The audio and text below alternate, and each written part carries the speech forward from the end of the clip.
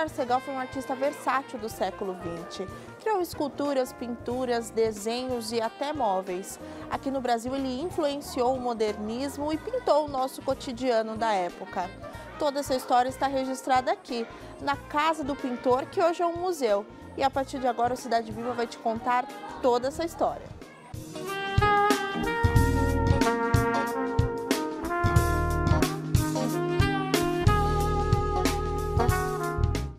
Lazar Segal nasceu na Lituânia em 1889 e dividiu a infância com mais sete irmãos. Em Viu, na capital do país, começa a estudar desenho ainda criança.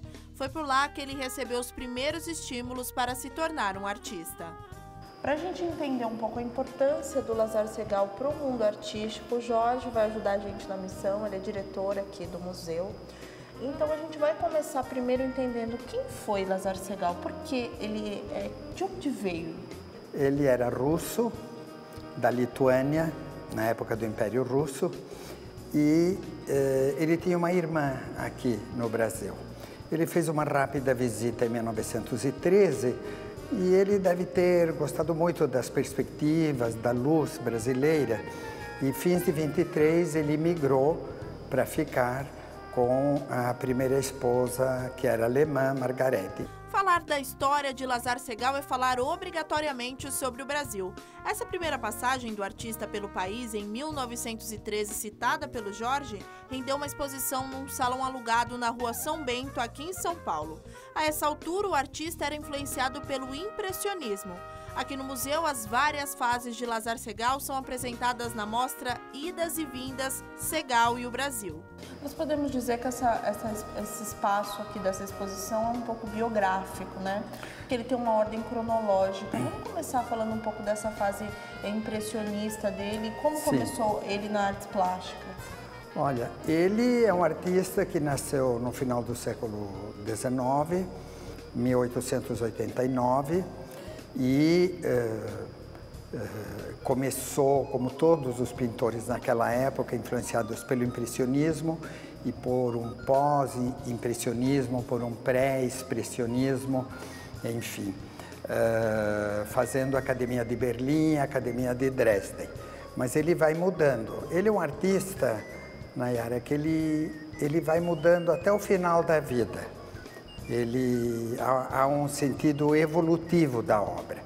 E a ideia desta exposição de longa duração, que sempre mudam, né? É algo bem didático que pega a época europeia e a época brasileira, onde ficam muito claras as diferenças. No térreo está a fase europeia de Segal. É no início desse período que ele se casa com sua primeira esposa, a alemã Margaret Quack, em 1918. A versatilidade do artista fica bem nítida logo no começo da mostra. Esses são quadros da fase impressionista do pintor, pinceladas e características marcantes. O impressionismo foi um movimento de pintura nascido na França no século XIX que influenciou muitas obras que são conhecidas até hoje, como essas de Monet.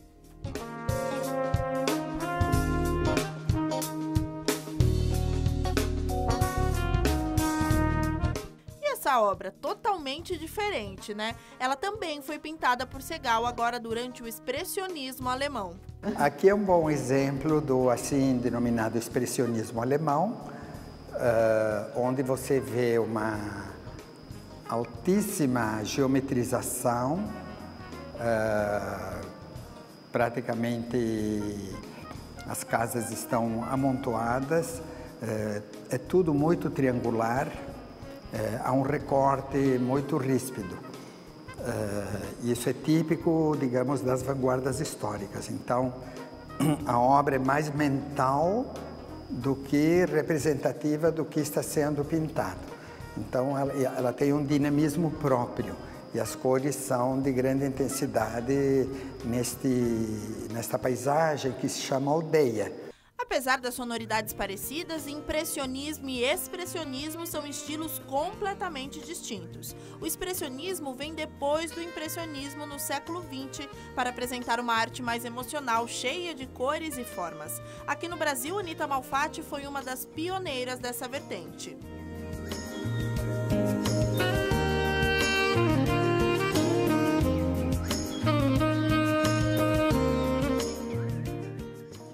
Aqui é um espaço interessante, onde você vê figuras meio deformadas, muito trágicas. Tem a ver com uma obra seminal, chama Eternos Caminhantes, que foi confiscada na famosa exposição de 1937 em Munique, chamada Exposição da Arte Degenerada. Foi assim que o Hitler e o nazismo denominou a arte moderna do período. Foi um grande sucesso, teve milhares eh, de visitantes, eh, foi inesperada a reação, porque as pessoas gostavam de ver arte moderna. Eh, teve até um efeito contrário mas foram obras roubadas, confiscadas. Foi governo nazista, pelo governo nazista. Foi uma tragédia, realmente para os pintores. A exposição Arte Degenerada foi criada pelo governo nazista de Adolf Hitler para desmoralizar os pintores modernos em julho de 1937. Entre as 650 pinturas expostas, obras de Picasso, Marc Chagall e, é claro, Lazar Segal. Uma delas, chamada Eternos Caminhantes, está aqui no museu.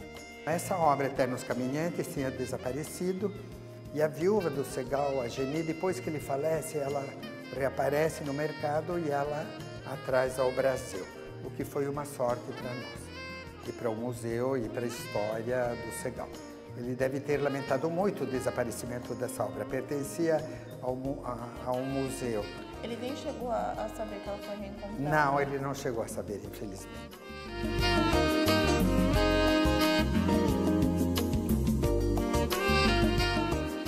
Bom, aqui Nayara, é um momento também chave é, na produção e na vida do artista. Quer dizer, momento ele... brasileiro, né? Mais é um momento brasileiro. Uhum. É, como, que é, como que ele representa esse momento brasileiro? Ele está de mãos com a esposa Margarete Alemã, que pela expressão não parece estar muito feliz, e ele faz uma espécie de afirmação de identidade, dizendo eu fico por aqui, meio que se veste de mulato, a não ser as roupas europeias, mas a pele. Ele traz para ele a identidade brasileira. Ele né? faz um gesto de afirmação brasileira. Eh, aqui um cruzamento de identidade europeia e brasileira. O que você acha que o Brasil despertou nele? Olha, provavelmente é, a ideia de, de um país grande, de um país de futuro, como se dizia, uh, uma estabilidade, né? poder trabalhar aqui sem o sofrimento da velha Europa. Uh, e eu acredito que ele ficou encantado com a luz daqui, com essa luminosidade. Lazar chega ao Brasil em 1924, mesmo ano em que se separa de sua esposa alemã. Margarete não se adaptou ao clima tropical, ao contrário de Segal, que no ano seguinte se casava com Geni Clabin. Começa aí a influência brasileira nos traços do pintor.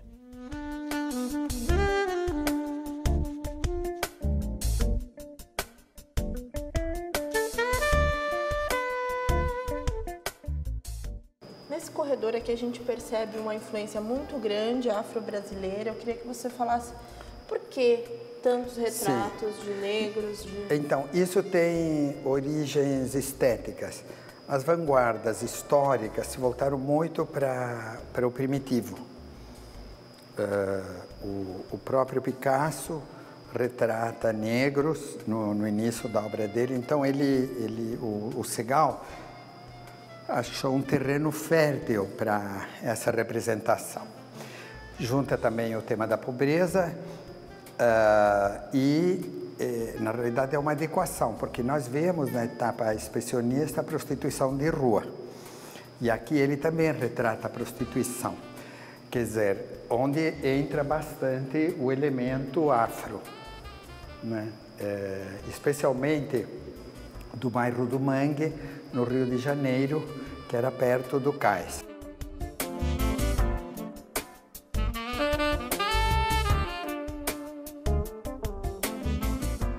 Jorge, saindo um pouco do campo das artes, quem era o Lázaro Segal? Quantas vezes ele foi casado? Ele hum. teve filhos? Sim, ele veio com a primeira esposa, que não se deu bem no Brasil e voltou depois de um ou dois anos. Era europeu, europeia. Ela era europeia? Sim, sim, alemã. Ah, tá. Margarete Quark. E depois ele uh, encontra Jenny, com quem ele vive até o fim da vida. Um matrimônio estável, tiveram dois filhos, Oscar e Maurício Segal.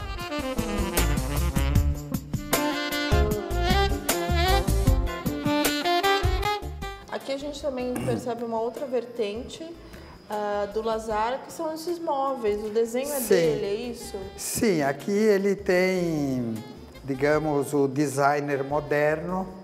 Uh, você vê a coisa geométrica, parece quase da Bauhaus.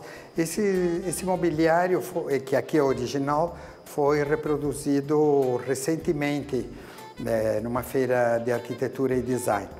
Mas a estante é muito funcional, as cadeiras, a mesa e o próprio tapete com o desenho dele, que foi também reproduzido. É, é uma visão, digamos, de um espaço mais íntimo e doméstico com obras do Segal também.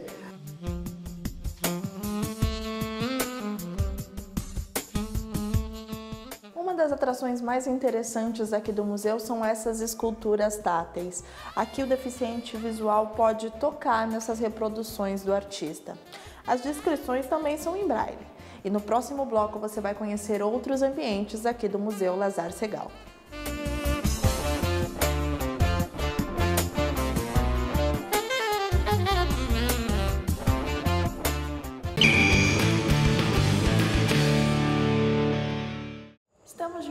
Com Cidade Viva hoje apresentando para você o Museu Lazar Segal.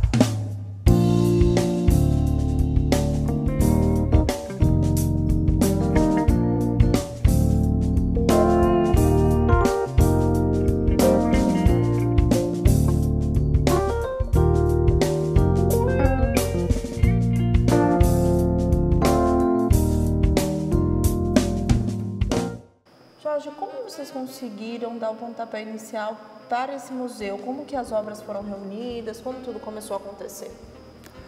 Olha, é, em primeiro lugar, o Segal foi um artista que não precisou vender obra para sobreviver e produzir outras. Ele, ele era de família rica? Ele não, mas a esposa. Ah, tá. Isso permitiu uh, uma vida tranquila. Ela era Geni Clabin Segal, da família Clabin.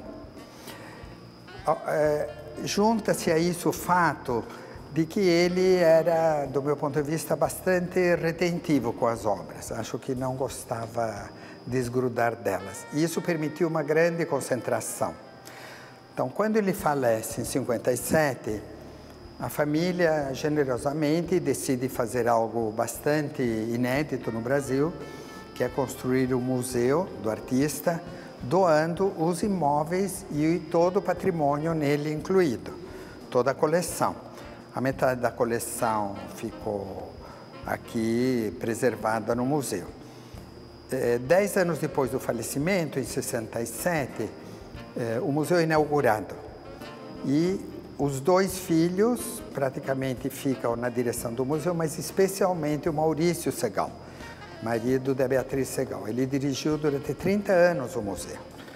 O museu existe hoje, eh, eu acredito que graças a todos os esforços, mas especialmente do Maurício Segal. As residências foram adaptadas para ser museu, por isso tem um formato pouco tradicional. É, sofreram adaptações de todo tipo não é algo que foi construído para ser um museu. É, a arquitetura da casa não foi mantida. Não. E a arquitetura original era do Warszawski, que foi o grande arquiteto moderno no Brasil, que era também russo e era casado com a irmã da dona Geni, era concunhado do Segal. Morava aqui perto. E, mas essa arquitetura não foi mantida. Depois, quando. A arquitetura, infelizmente, não foi mantida. Eles tiveram que remodelar tudo para poder virar espaço expositivo. Só o ateliê que se mantém fiel ao original. Atualmente, o Museu Lazar Segal integra o Instituto Brasileiro de Museus, que pertence ao Ministério da Cultura. E além do acervo que conta com mais de 3 mil obras, também oferece outras atividades em diferentes espaços. Esse espaço aqui com alguns equipamentos de época já foi o ateliê do Lazar Segal e hoje recebe oficinas de gravura. Não é mesmo, Jorge? É, conta um pouquinho sobre a importância desse espaço para a história do artista. Bom, em primeiro lugar, é quase que um santuário isso aqui, porque é o lugar mais preservado que é o ateliê onde ele produzia as obras. Inclusive ele é tombado, né? Ele é um espaço tombado, mas isso não significa que não seja utilizado. Então tem esse gosto, digamos, de saber que as pessoas que frequentam o ateliê para aprender a fazer gravura ou fazer as próprias gravuras estão utilizando o mesmo espaço que foi usado pelo Lazar Segal eh, enquanto viveu nessa casa. O que hoje é mantido aqui nesse espaço? O que era já daquela época e o que foi alterado? A estrutura é a mesma, essa janela enorme que dá para o jardim, o pé direito, e tem as prensas mais pesadas que são de época. É uma das razões das pessoas virem aqui, porque não tem como ter isso nas residências para imprimir. Né? Então é muito agradável. E temos um professor que ministra cursos. O ateliê foi uma das poucas partes da casa que quase não sofreu alterações. A foto de Segal entrando no espaço mostra bem isso. Os cursos de gravura ministrados aqui acontecem regularmente as matrículas são feitas pelo site do museu. Depois das aulas, todos podem apreciar o jardim que fica bem em frente ao ateliê.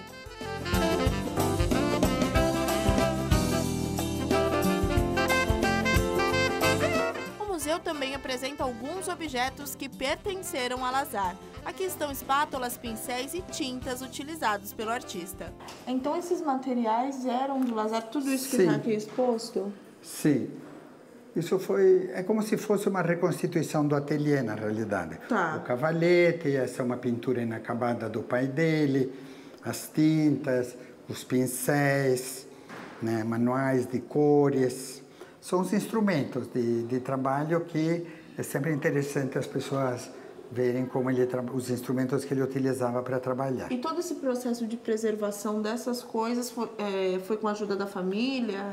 Sim, a família inicialmente doou tudo isso, mas isso é feito por o setor de museologia, né? que é quem cuida do acervo. Tudo isso está patrimoniado. No jardim da casa, esculturas de Lazar Segal em exposição permanente.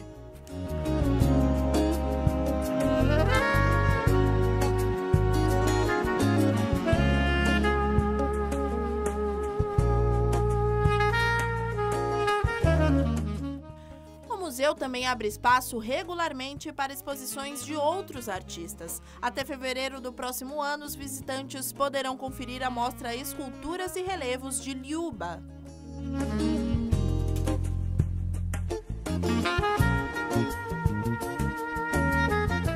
Lilba é uma das principais artistas brasileiras na arte de esculpir. Aqui no Museu Lazar Segal, sua obra está exposta em mais de 15 peças em áreas internas e externas. Todas as esculturas têm como inspiração formas de animais.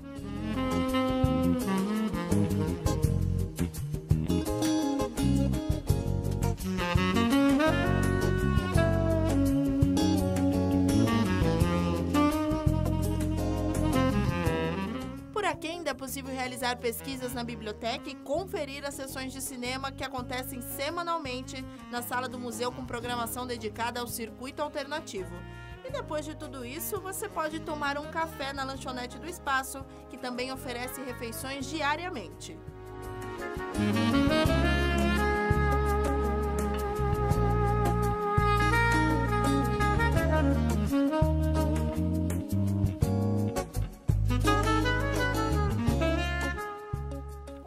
Lazar Segal fica na Rua Aberta, 111, Vila Mariana, e funciona de quarta a segunda, das 11 da manhã às 7 da noite. A entrada é gratuita.